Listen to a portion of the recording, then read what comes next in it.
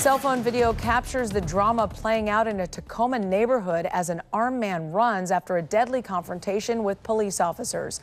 Officers responded to the scene and contained that area from South M Street to Hosmer Street and then from 38th Street to Wright Street. KIRO 7's Maria Guerrero has been gathering information from the scene in Tacoma since early this morning. Maria, what's the latest from there?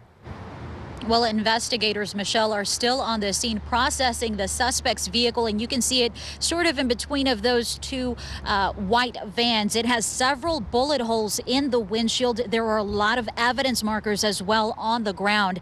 The woman who was killed is believed to be Native American and in her 20s. A witness out here told me that she saw officers carry the woman out to this area over here to try to do CPR, but she died here on the scene. And now the big thing that's happening right now is that the search continues for her passenger, who police say ran off with a rifle.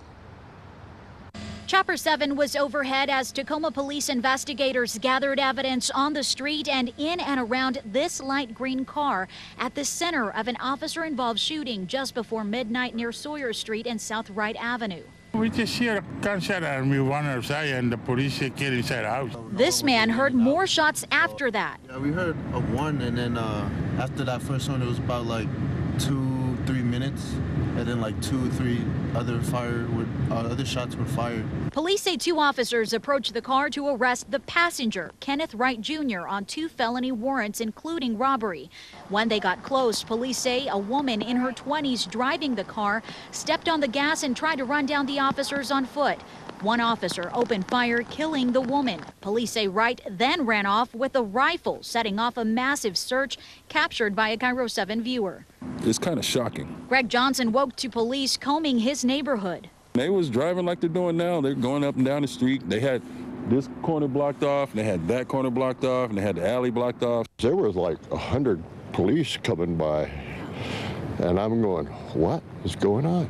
The search closed Reed Elementary and St. Whitman Elementary into a modified lockdown and has left some in this neighborhood on edge. I don't know what his intentions are or what his thinking is. The Tacoma police officer who fired his gun is 30 years old. He has been with Tacoma PD for two years now and has eight years of experience within law enforcement. He is on standard paid leave right now. Reporting live in Tacoma, Maria Guerrero, KIRO 7 News. And we've posted the picture of Kenneth Wright Jr. on our Facebook page. He is 32 years old and is believed to be a transient. Share the photo to help police track him down.